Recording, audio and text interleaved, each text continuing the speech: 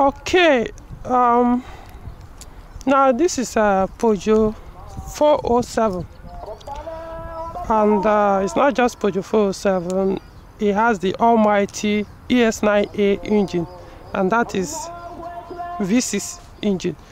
So um, I want to do a review of this car. Of course uh, 407 production ended in 2010 so I know there will be series or numerous review both articles and videos already online.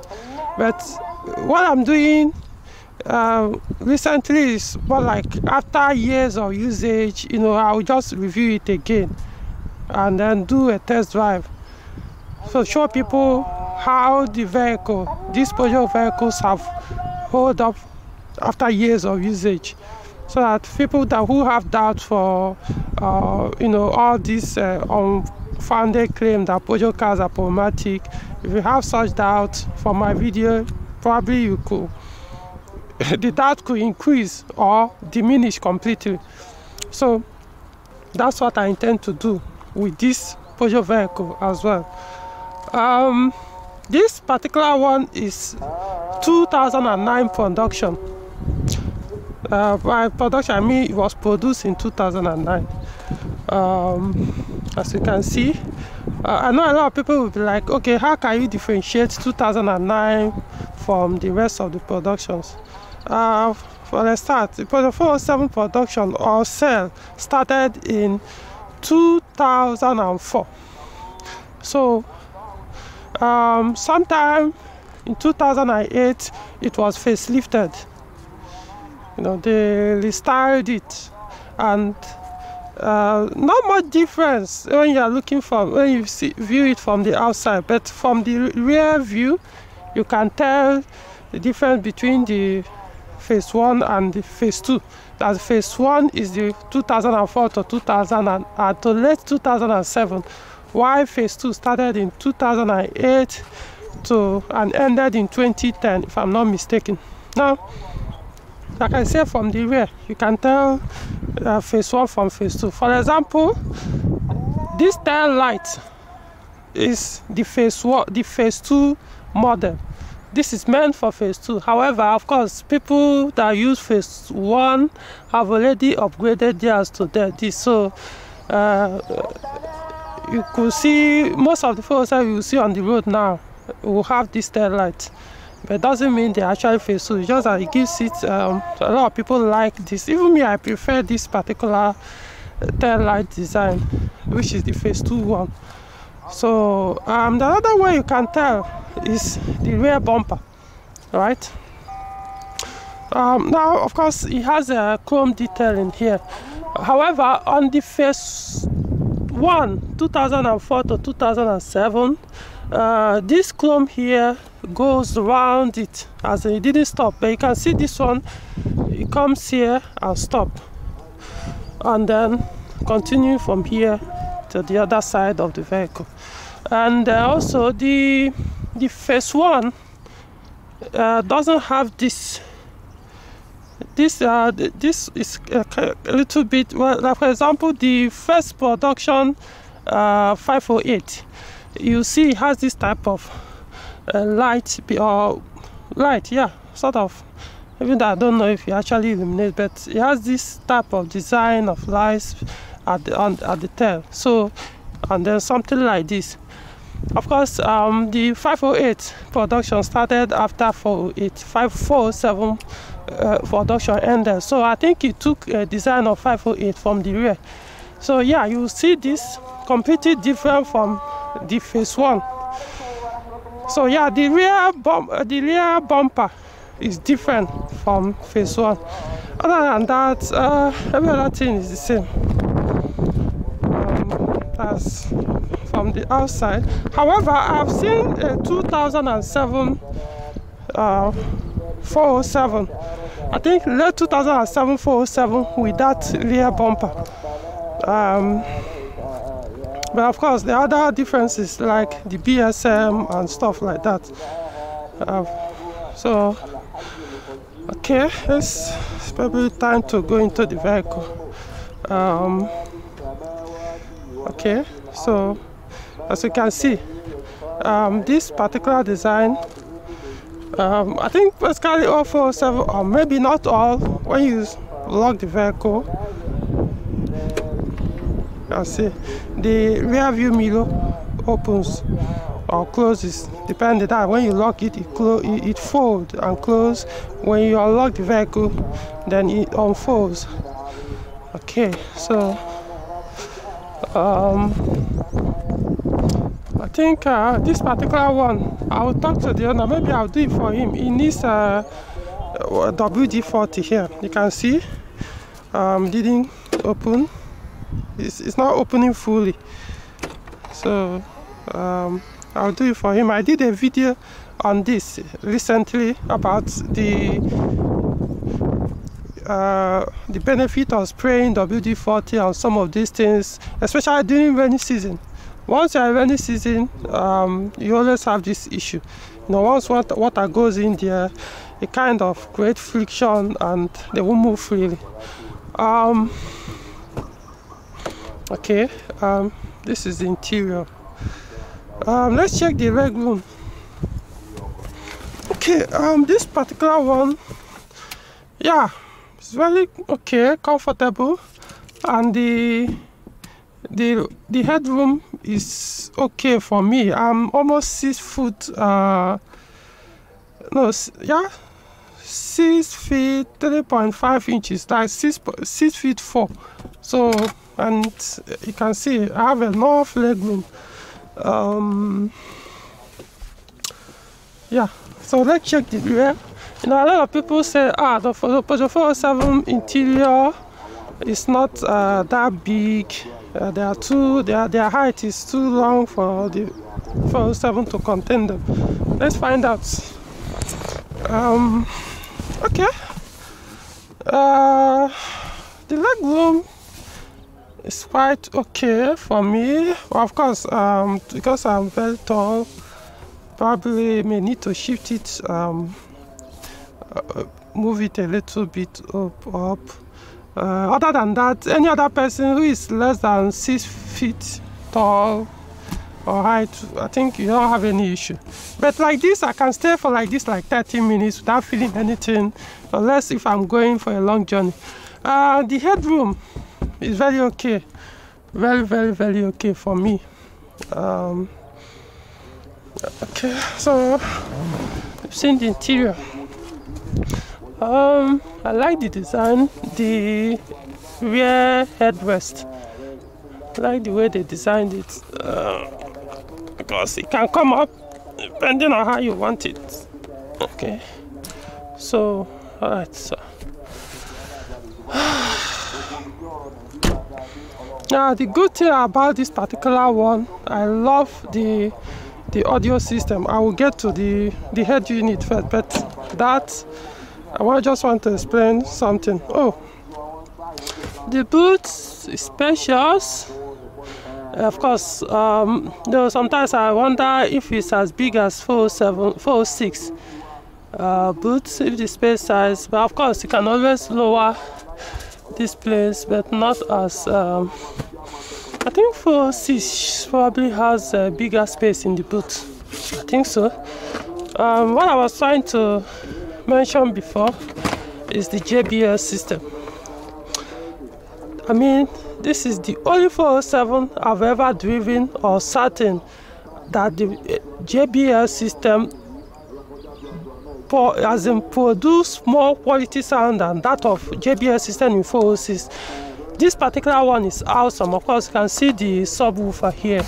However, other Peugeot 407, um, especially the first year, the first phase one, yeah, 2004 to 2007.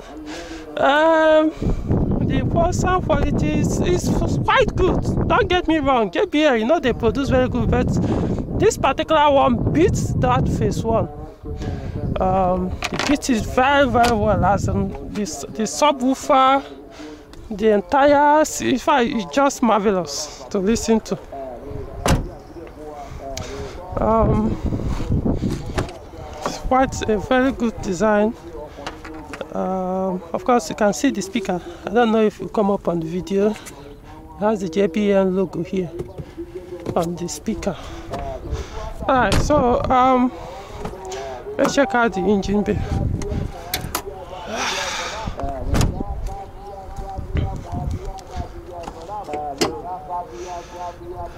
Um 407 uh, engine bay the bonnet it doesn't have the hydraulic support you know. So you have to manually adjust and put it here so as you can see this is the V6 V6 engine I mentioned earlier when I started this video. And this um, the model number is uh, yeah model number ES9A while the code engine code is SFV uh, I'm going to put uh, all these things uh, in the description.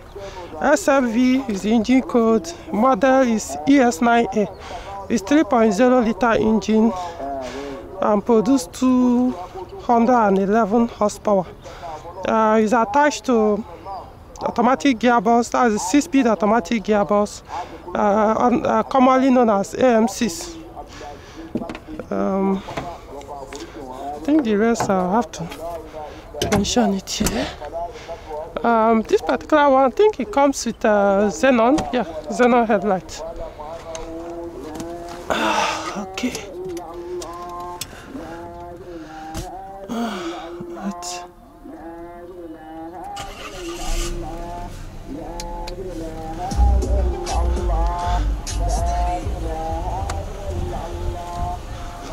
But one of the things I love about 407 is the the 407 V6 specifically. I love the sound, the engine, thing.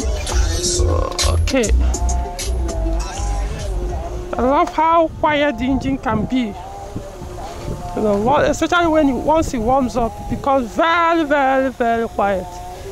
Right? So, alright.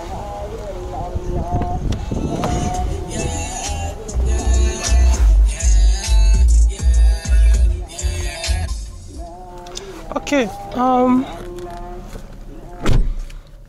so, um, of course, now let's talk about the radio. This is uh, RNEG sound system. They are more like uh, the head unit, the display, the navigation display. Um, it's completely different from the common head units or the telephone radio system in Peugeot 407s. Uh, this particular one uh, is commonly found like in Peugeot 508 and the rest. So if you want this type of head unit, it means you have to step up to like um, from 2009 or 2008 Peugeot 407 for you to get this kind of setup. Uh, kind of prefer it to the other one. Very, very, very good. Very good looking. Um, okay of course I've mentioned it's already a V6 and uh, um, what else? V6 uh, um, automatic transmission 6 speed I think uh, need to take off now. Um, the AC works perfectly. This car is um, about the mileage about 69,000 kilometers so it hasn't actually been driven that much. Um, okay so let's go for the drive. Um, now the RNG uh, radio system has a Bluetooth function. So and it's very very clear and powerful. Once you, you, you sync it with your mobile phone uh, as soon as you come into the vehicle and switch on ignition you just connect instantly and very very uh, clear the voice very very clear the sound all everything comes out from of course i think the speak the microphone is mounted somewhere here. So which makes it uh, near closer to the driver. So as you are driving and if you receive call you can pick the call. You don't need to touch your phone. There's a button here press it here this particular button once you press it it picks the call and then very clear you hear the person even if the music is playing it will mute uh, the music or if it's CD or whatever it will pause it then continue with your make do your call. Once the call is ended every other thing resumes. Uh, then he also has a, a micro uh, memory card slot here I, I, can't remember if it's micro uh, but I know it's normal the normal memory card you get in the market. So you want to slot it here you can do it you can save your navigation there or probably your music. Um, that's about the radio system. Um, of course the Peugeot 4 this Peugeot 407 in fact it's like standard. It's standard as for certain not like I'm guessing. All Peugeot 407 V6 has variable steering and uh, of course if you've watched my Peugeot 406 V6 uh, review, you probably understand what I mean by variable steering. The lower the vehicle speed, the, the higher the, the vehicle, uh, height ground clearance, but the higher the vehicle speed, the lower it drops the vehicle. That makes the suspension firm and hard to give you a, a, a very effective stability on very high speed. Likewise, it has um, variable steering as well, what we call variable steering. Same thing, the lower the vehicle speed, the softer the steering. Um, of course, you can see very, very soft or light to, to do, to turn or steer. While the higher the vehicle speed, the harder it becomes to steer. Um, it's standard in all Peugeot 407 V6, but for other um, what's it called? Peugeot 407 with uh, like four cylinder engines those ones have the conventional power steering. Um, however I will point out that uh, Peugeot 407 variable steering is good. However it's not as uh, soft or light as uh, that of Peugeot 406 uh, V6 and Peugeot 607 V6 um, for example, the Peugeot 406 V6 and Peugeot 607 V6, you can easily steer the steering with two fingers, but this one I just can't. It's, it's just not. Even the oil, I've changed the power steer, the the steering fluid, put the recommended one, but uh, still not as soft as uh, 406 V6 and 607 V6. Um, I've also driven other Peugeot 407 V6, they're all like that. So it means you have to use your full hand to do it. Um, so the reason why I'm saying this is um, so that if you buy it, don't feel get disappointed that because oh I said you can do it on any Peugeot 406 any Peugeot with V6 engine that will be as light as that in 407 it's also light but like I said but you can't do it with two fingers. Um, other than that it's very very good. And like I mentioned in the 406 V6 review it's a very reliable system. I'm talking about the variable steering very reliable and durable. Right? Oh it's the parking aid. This particular car comes with both uh, the rear and the front uh, parking sensors. So the front ones it helps. Especially when you are in traffic you don't get get to drive too close to the vehicle in front of you or an object in front of you whether you're in traffic or not unlike most cars that comes with only the rear uh, parking aid sensors so this one has both the front and the rear so as you are moving if you get too close it will start warning you um, okay um right now uh, I'm on drive mode, right? Um,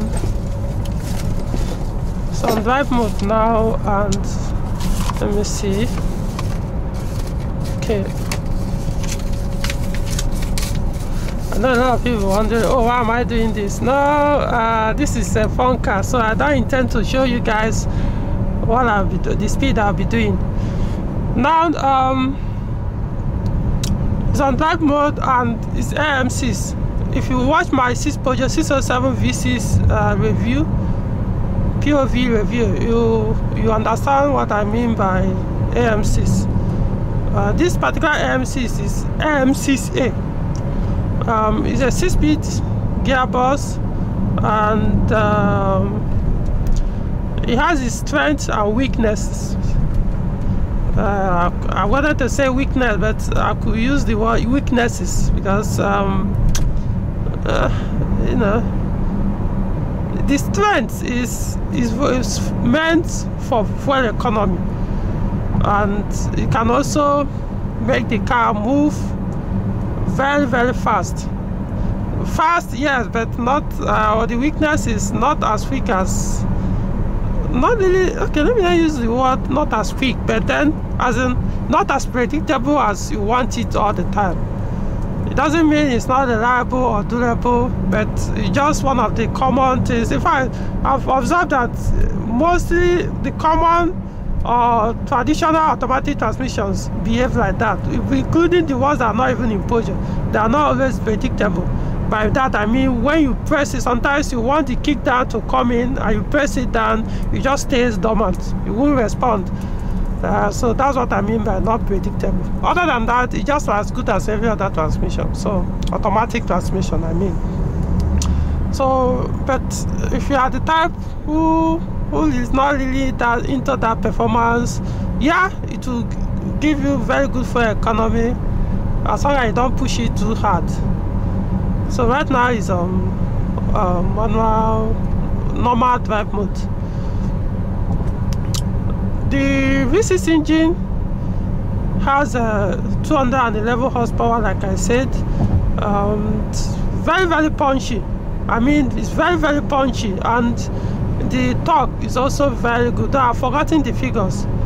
You actually understand the power of this engine when uh, you drive a Peugeot car that, that has a manual gearbox attached to it. That's when you understand this engine. Or you could put it on, this one also has a drive uh, manual mode. So when you put it on manual mode, that's when you also get uh, the power of this engine full to the wheel only that um, you know it still doesn't feel that great like the manual or you could put it on sport mode and then boom the sport mode is also very good. It allows the engine power to get to the full to the wheels. Uh, the full engine power I mean. However it still has its own weakness when on sport mode. By that I mean most times when you put it on sport mode you always get to the red zone before it shifts to a higher gear which not everybody likes that. Me too i don't like that. Uh, you know i always prefer even my like for example my other Peugeot cars with v6 engine and manual transmission no matter how crazy i am on the road all the crazy speed i've done i've never ever pushed the rpm to the red zone you know but it's more like a common thing on the the AM6 once I put it on sport mode I want to drive it uh, drive for fun. You always get to red zone and messing up the fuel economy is supposed to give you. And also to me I don't like stressing my engine that much because it has so much power. So why do I have to stress it? You do so many crazy things for you even without getting to red line. So so that's why I don't uh, I, I try, try to drive it. Though once I'm in a mood sometimes I push it like that you know but just telling you. Uh, the reason why that happens is because of the gearbox uh, however it's a very punch it's very quick engine. And uh, so I'll still get to the part where I will drive it for fun. But for now I'm on manual normal mode no I'm on the normal conventional drive mode. Um, okay let's test uh, the the manual mode now. Okay here it goes. Push it to this place. Okay now it's on manual mode.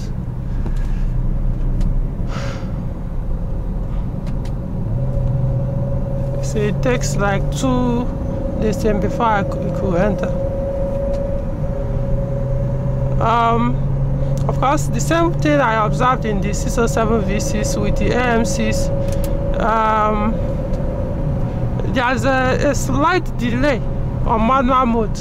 That when you shift it it will enter the the gear will not uh, it won't change immediately. It will delay for like uh, maybe a second or two probably a second. Before you shift to a higher gear. So it's not like the manual one. The only thing okay manual may give you a delay but depends on how fast you are. For example the manual for manual gearbox when you you know depends on how you your clutch engagement how you apply it while you are shifting your your gear lever so there's a way you could do it to take just very little delay. As in the delay is for you to when you are pressing your clutch and you're shifting your lever all those things depend so if you are good enough with the manual you may hardly get that delay. But for the gear to engage with the engine no delay in that. You know it's, very it's direct it's very very um, effective. So but this one I don't know. There's always a delay. So let's put it back on the normal drive mode. Other than that this car is very very good. Another thing is this the 407 v6 uh, front brake calipers they all have two two pinions. That's two uh, yeah two pinions. They have two pinions and uh, which makes it uh, very very effective. Yeah. I love it about it. Very very powerful brake. And that is the same brake in 607 V6 um, Z2 that's the phase 2 so let's get to the sport mode and have fun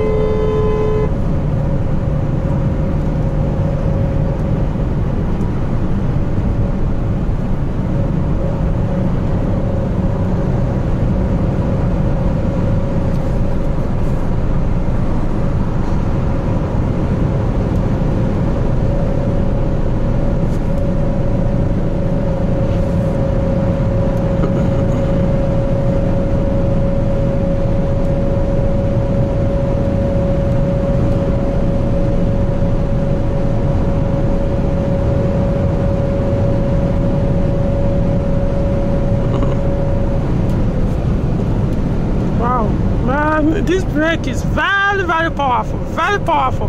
A small touch man brings the car almost close almost to standstill. Honestly if you want a very a 407 with a very sharp and effective brake i would suggest you go for a v6 or ew12 so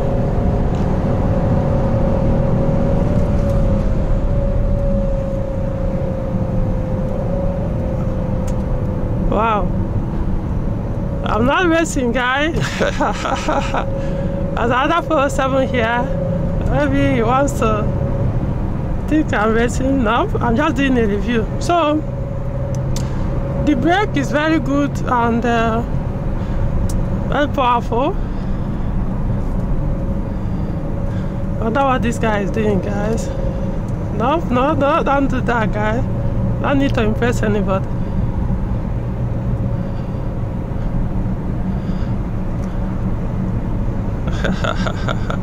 anyway, he's having his own fun anyway. It's a V6, 47 V6. I could tell already from the layout of the car that it's a V6. So I'm not here to race with anybody. So um, because if I wanted to race, I wouldn't be on camera. uh, but of course, the car, both cars have the same power. So it's not like anybody is going to win the race. Worst case scenario, it will not be who has the um, who has the the cuts, you know, to to push. But then when I'm using driving other people's car, I don't because, for example, I I know the set of my own car. I know how good uh, the the timing, the auxiliary belts are. I know my brakes. I know my tires. So those are the things I consider if I choose to push car and or maybe I want to show somebody Lion King is behind the way so respect respect your elder. So if I want to do that that's what I usually do. Other than that if I'm driving another person's car no I don't do it. You know I don't do it.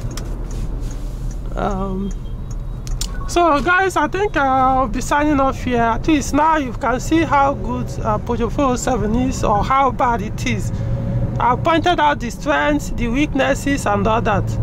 Um, so if it makes sense to you, this particular one, I know some people will say, oh, they prefer a 407 2009 because of the gadgets that this one have.